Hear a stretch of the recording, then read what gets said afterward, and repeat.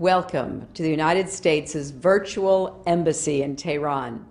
The United States maintains diplomatic missions all over the world in order to communicate with other governments, facilitate trade and commerce, and support mutual understanding and respect.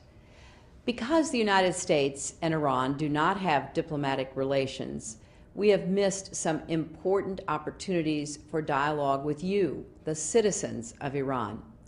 But today, we can use new technologies to bridge that gap and promote greater understanding between our two countries and the peoples of each country, which is why we established this virtual embassy.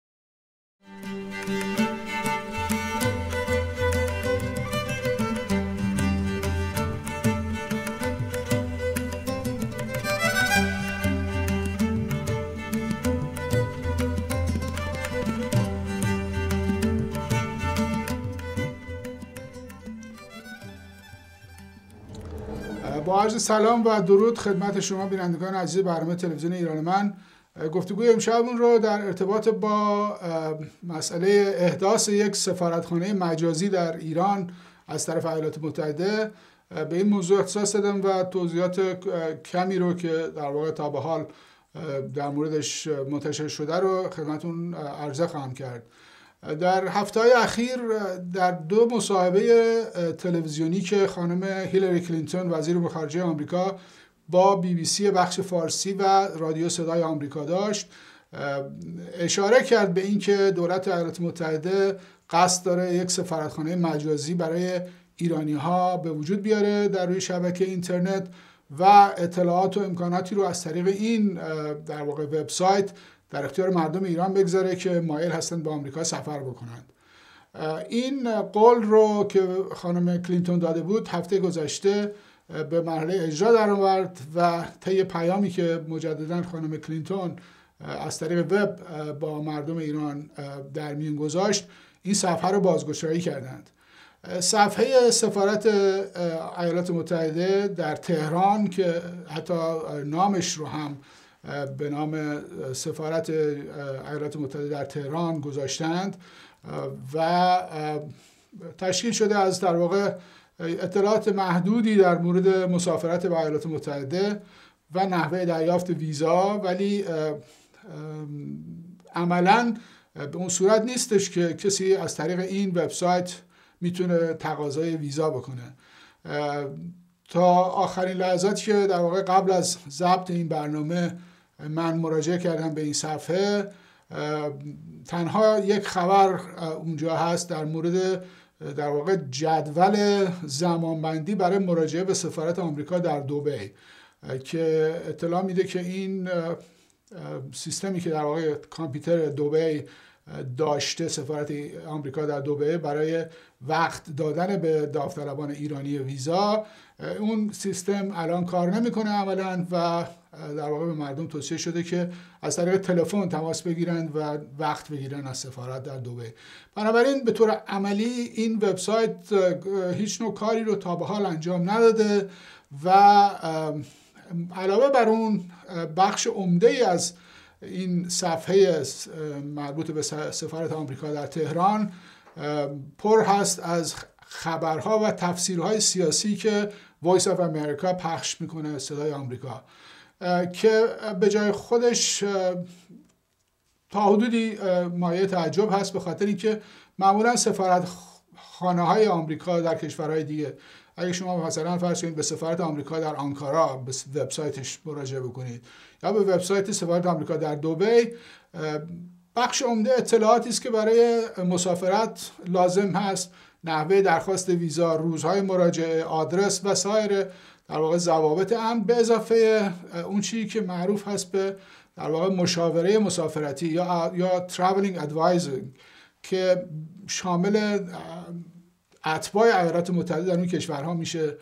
و جنبه سیاسی تبلیغاتی به اون شکل درش وجود نداره در این وبسایت آمریکا در سفارتخانه آمریکا در کشورهای دیگه. ولی در اینجا قسمت عمده ای رو اختصاص دادن به در واقع خبرهای در رابطه با ایران که از Voice of America صدای آمریکا پخش شده و به همین دلیل هم ظاهرا با دولت جمهوری اسلامی زیاد خوشایند نبوده وجود همچین صفحه ای و اون رو فیلتر کردن در نتیجه این صفحه در ایران به طور مستقیم قابل دسترس نیست. ولی البته فیلتر شکن هایی هم در ایران هست که مردم می‌تونن اونو دور بزنن. ولی بعد از دور زدنش هم امکان عمده ای در اینجا وجود نداره. نکته ای که مایل هستم بهش در واقع اشاره بکنم و توجهتون رو بهش جلب بکنم این هستش که در سالهای آخر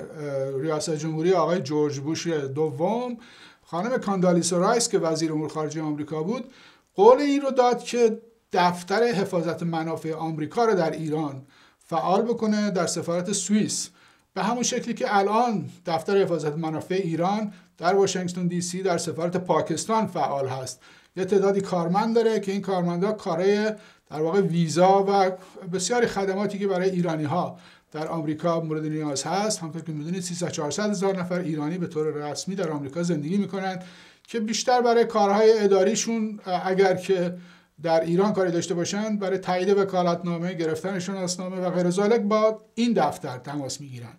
ایالات متحده هم به راحتی می‌تونه که یک دفتر حفاظت منافع در سفارت سوئیس در ایران داشته باشه و از همون طریق هم می‌تونه ویزا صادر بکنه. یا می‌تونه یک سری خدمات در واقع کنسولی رو که مورد نیاز هست در ایران عرضه بکنه. بدون اینکه بخواد یک عملیاتی انجام بده که به این شکل در واقع هم سر و صدای زیادی داره و هم محتوای کم. ولی در نهایت باید توجه داشت که قدم اولی است که آمریکایی‌ها برداشتند برای اینکه ارتباط ظاهرا مستقیمی رو با مردم در ایران داشته باشند. البته وبسایت وزارت خارجه آمریکا یک صفحه فارسی از قبل داشته که در اونجا هم هم پیام های رئیس جمهور و وزیر امور خارجه آمریکا رو برای مردم ایران به مناسبت های مختلف در اونجا پخش می‌کردن بنابراین این صفحه دوم به عنوان صفحه سفارت اگر واقعا سرویسی یا خدماتی رو به مردم ایران عرضه نکنه برای دریافت ویزا وجودش در واقع بیمورد هست. چون که اطلاعات عمده رو قبلا از صفحه فارسی وزارت خارجه هم مردم می‌تونستن دریافت بکنند. باید منتظر بود و دید که آیا واقعا در ارتباط بین دو کشور قدم های سازنده برداشته خواهد شد و یا نه. به این شکل من بعید می‌دونم که وجود یک همچین صفحه به عنوان وبسایت سفارت آمریکا در تهران چندان تغییری رو در اون رابطه به وجود بیاره. مضافه بر اینکه به اشکال مختلف از طریق کنگره آمریکا و از طریق حرکت هایی که وزارت دارایی آمریکا برای تحریم ایران انجام میده اصولا به نظر نمیاد که تمایلی از طرف آمریکا برای ایجاد یه رابطه با ایران وجود داشته باشه. و اگر که اون هدف اصلی یعنی اون تمایل برای ایجاد رابطه وجود نداشته باشه ایجاد سفارتخانه مجازی هم بیشتر همون حالت مجازی خودش رو حفظ خواهد کرد و هیچ وقت به واقعیت نخواهد پیوست.